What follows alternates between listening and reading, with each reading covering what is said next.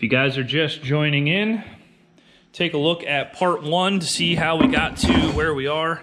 We've got Subaru transmission parts laying everywhere, but ultimately we're gonna end up with this little unit here. And here's the steps we took to get there. Little RTV on the mating surfaces. After you clean them up, and we can drop this thing together now, finally.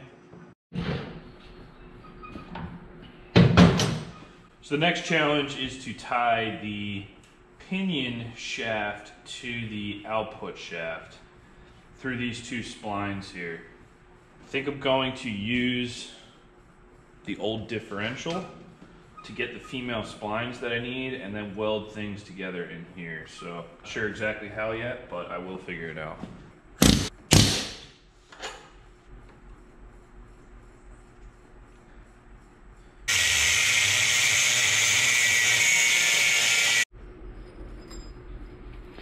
So now I've got a piece, a female part of outer splines.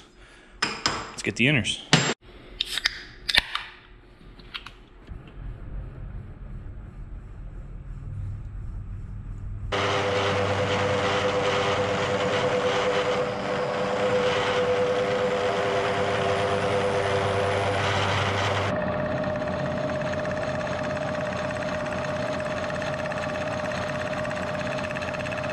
So my thoughts are, use the big cup to grab the output shaft splines, and then I use this small spline that I made to grab the pinion shaft splines, and then these come together.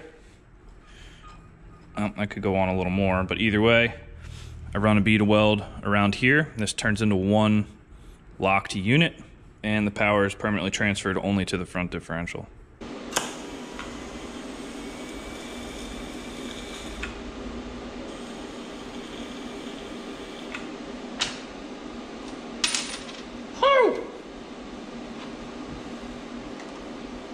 Get hot?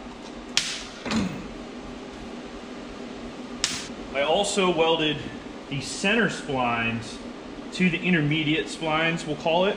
The reason I did that is that doesn't have to be a strong weld. It just needs to retain this thing from sliding back and forth. That way the pinion shaft nut kind of squeezes the whole thing forward and it stays there um, because there's nothing behind it to hold it on. Oh, look at that, baby, yeah.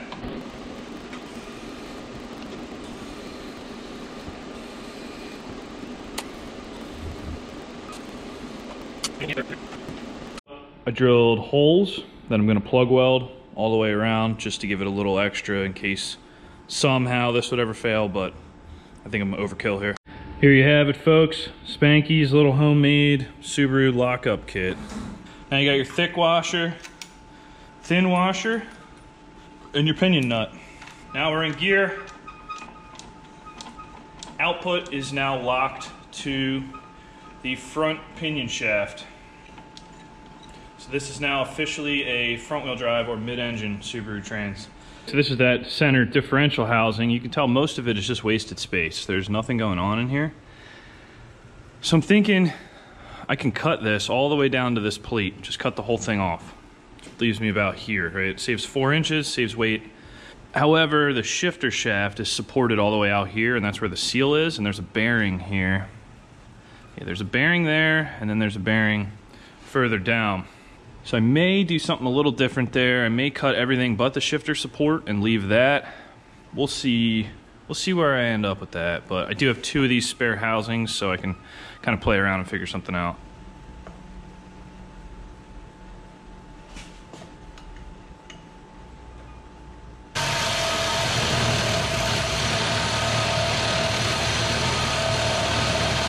Bear with me, folks, and just remember it's got to look worse before it can look better. I've cut the bulk of it off with the Sawzall.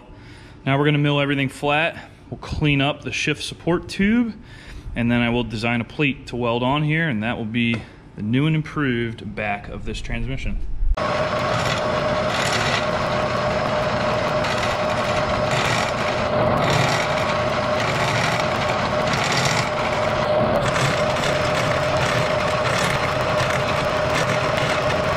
This was the vision. It's all milled off, nice and flat.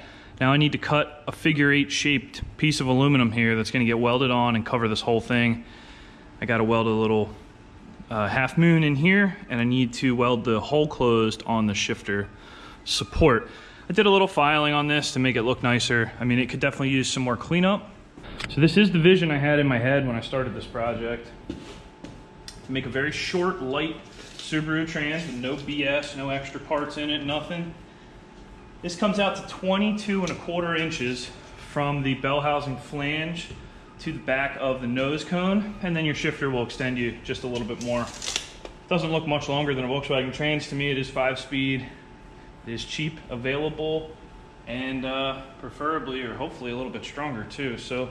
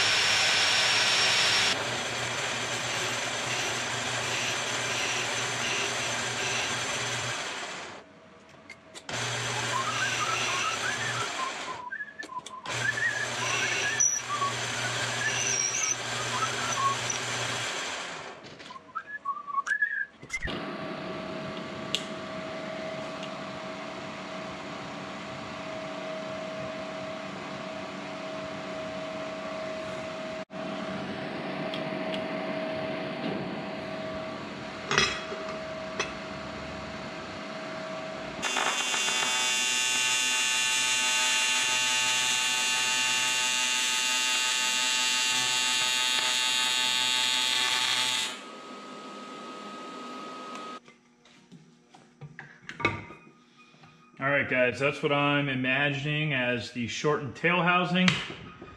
Cut a piece on the lathe to, I think, 39 millimeters, press right in, whack it off there, trace out a plate on the front, weld this little hole closed on the shift, uh, shift shaft support, and here we are. That is my shortened tail housing for Subaru transmission.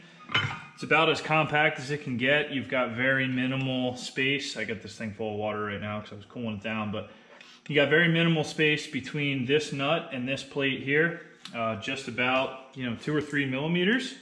So this trans is literally as short as you can make it without actually modifying the pinion shaft. Anyway, I think this thing sealed up nice. I'm actually very surprised at how nice uh, the Subaru aluminum casting welded. I'm really happy with that. I'm not a great aluminum welder and this thing welded up like butter. So there we are. I'm gonna dry this thing up clean it out, and we are done building this transmission. Okay, the trans is complete.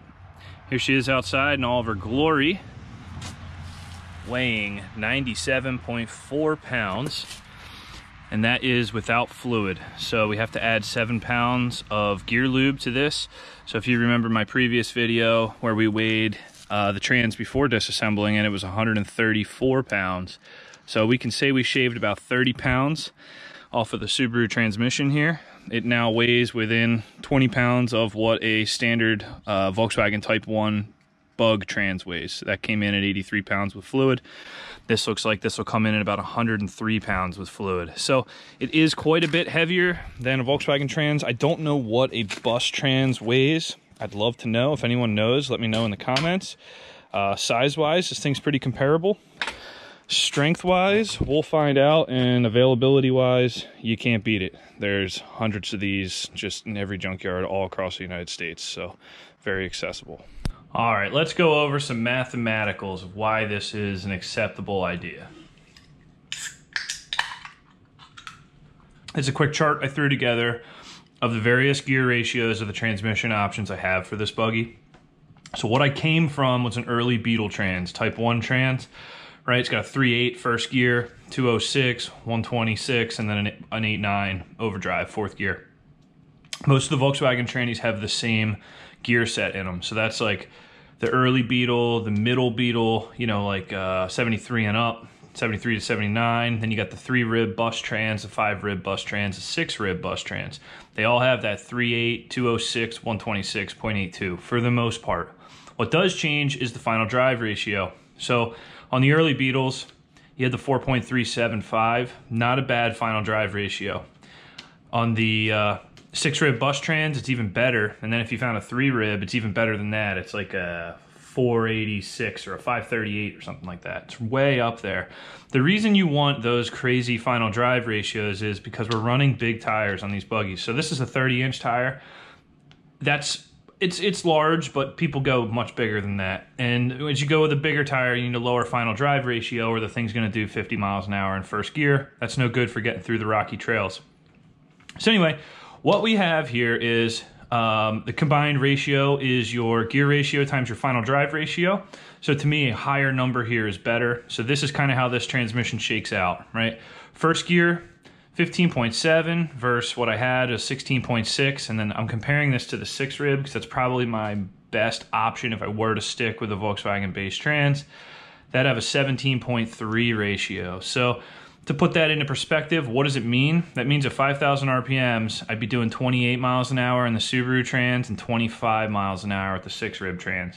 Three mile per hour difference, nothing to cry about really. All right, let's compare second gear.